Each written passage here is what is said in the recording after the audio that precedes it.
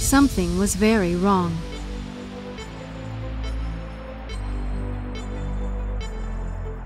Hello, agents. I'm Susanna Moyer, and this is the Ingress Report. Last weekend, over 1,500 agents in Brussels, nearly 800 in Salt Lake City, and thousands more agents in satellite sites and connected cells around the world joined forces in the struggle to control the first of the Darsana anomalies. The day began in Brussels with simultaneous satellite sites in Bern, Vilnius, Aarhus, and Pune.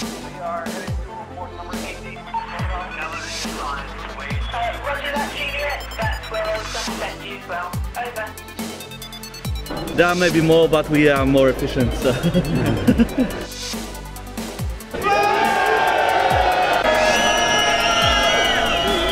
we got here really fast at the first cluster and that really paid out to our advantage because we were able to basically build up the entire area.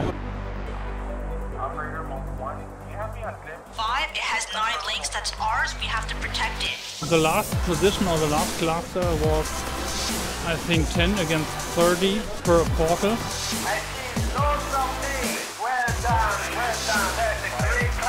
Quite nice to get to know each other even if they're from the other faction. In Bern, the Enlightened began the day on the front foot, but lost control of the anomaly during the third and fourth measurement, ultimately losing the site by a mere 8.6. In Vilnius, the Enlightened remained within a thin margin of the resistance, dropping their lead to just 17 at measurement 3 before falling behind again.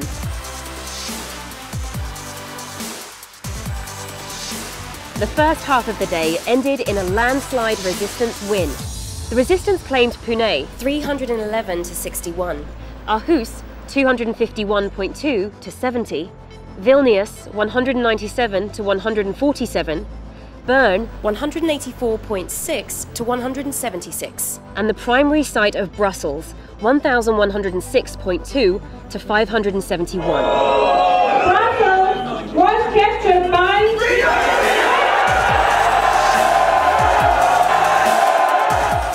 In addition, the resistance claimed the connected cells in Dubai and Odessa.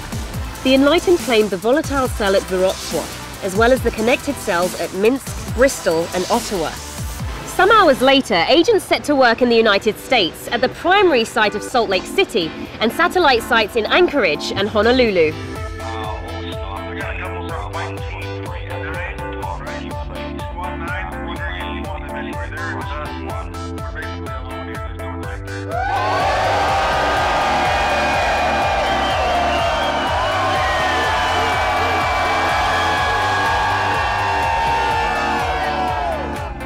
Ultimately, it's about the teamwork that brings you together as a group and helps your team win in the end.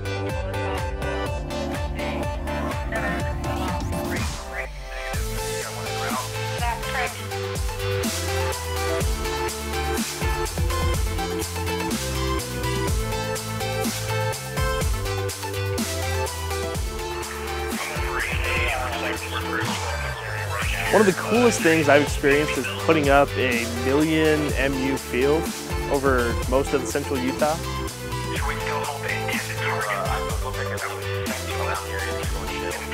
Um, yesterday we just threw a field in the shape of Utah and I got to close one of them. Um, as a pony rider, it was uh, a lot of fun.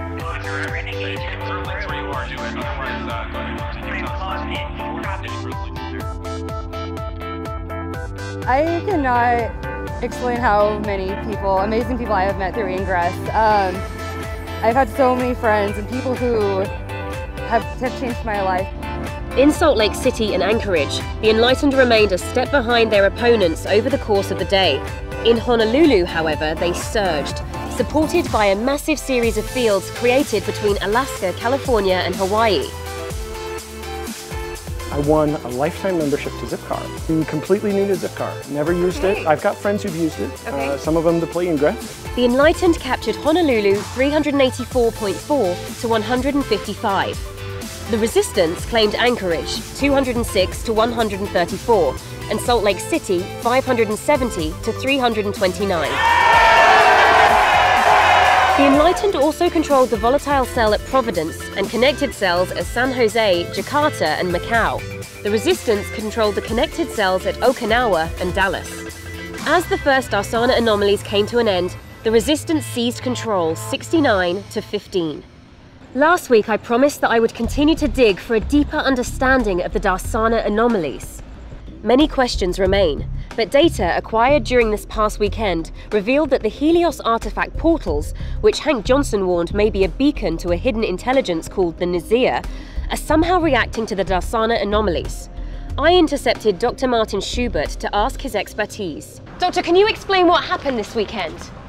Look, Susanna, I've only seen the same information as everyone else, all right? Well, perhaps you can give us your interpretation then. Okay, from what I can tell, following each uh, anomaly, the uh, beacons transmitted something, a message of some kind. So the beacon theory is correct. The results of Helios was to create a series of XM beacons that are now active. I- am not really in a position to talk about that. Some people say that if the day had ended differently, then that Right. transmission, those messages may not have been sent. That is currently one hypothesis, yes. So should we fear them, the N'zeer? It seems to me that some individuals, Jarvis to name one, fear them, fear this idea. Well, he made a strange comment recently. He, uh-huh. he talked about breaking the universe.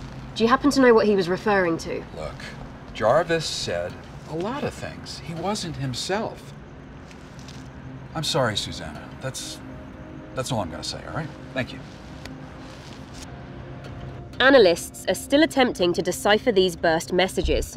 The Ingress report has obtained a portion of the intercepted transmission.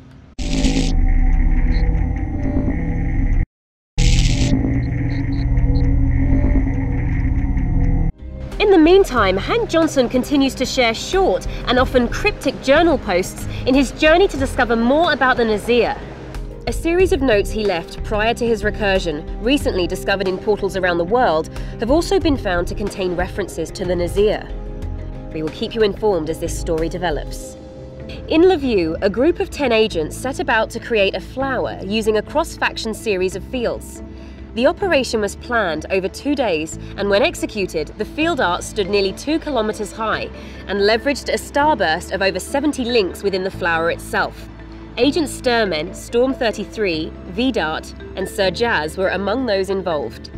In Taiwan, enlightened agents celebrated the National Day of the Republic of China by building a series of fields in the shape of the island of Taiwan in the dense portal network of downtown Taipei. Nearly 50 ADA refactors had to be used to help clear the area for the 41 fields the operation required. Agents Nicemaker, Hannah Kay, Urena, and more than 35 other agents were involved. And in the Netherlands, resistance agents executing a plan created by Agent Rosavino launched Operation Area 51.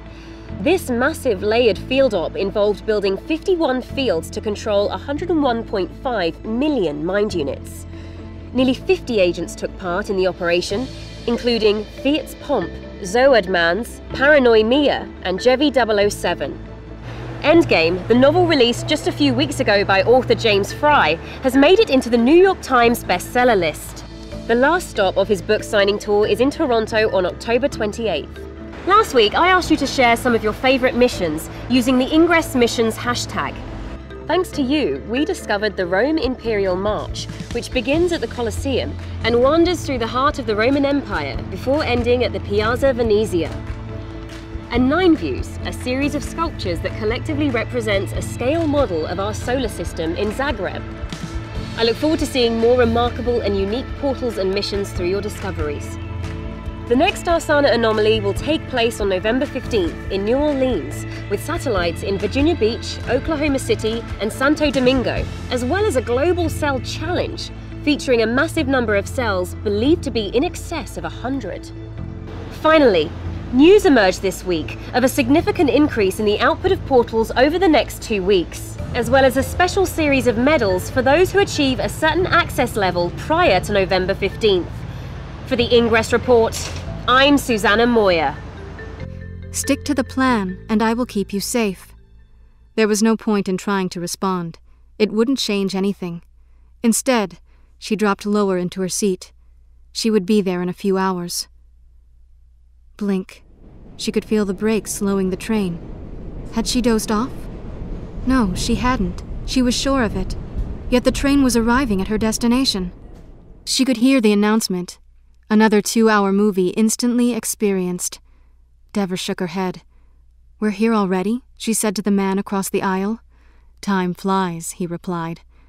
Except when it stands still, Devra said. At least we made it out of Zurich alive, the man replied. What do you mean? The murders at the Zurich HB.